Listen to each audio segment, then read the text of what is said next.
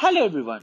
Today I'm going to show you how to create three logos in 3 minutes. Let's start.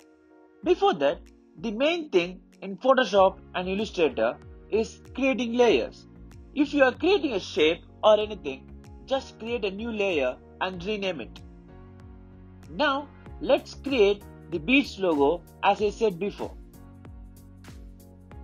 Create a new layer and name it as Beats. Create ellipse and use shift and drag for the perfect circle. Pick the eyedropper and select the color from the image. Click and drag the circle using Alt for the duplicate. Using transform option, scale it and make it as a small circle. Create a rectangle and place with the small circle. Combine all the shapes and use shape builder tool and drag the unwanted area and select direct selection tool and delete the unwanted area. Now create a circle and pick the color and place it in the center. That's it.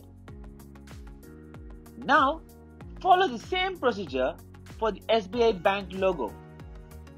It is simple than Beats logo. If you see SBI logo, it has only two circles and one rectangle.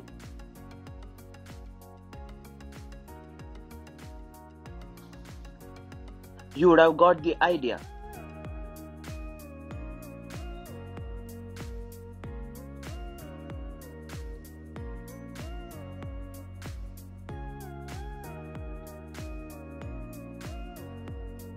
Let's start creating the final logo. It is the Instagram logo.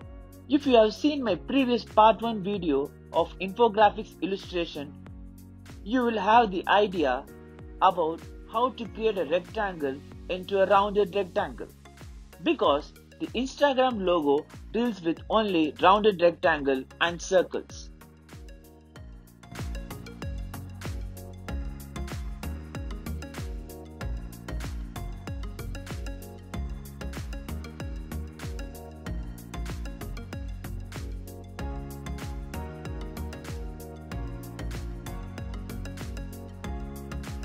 Use the option called minus front which is in the shape modes and apply the color to the shape.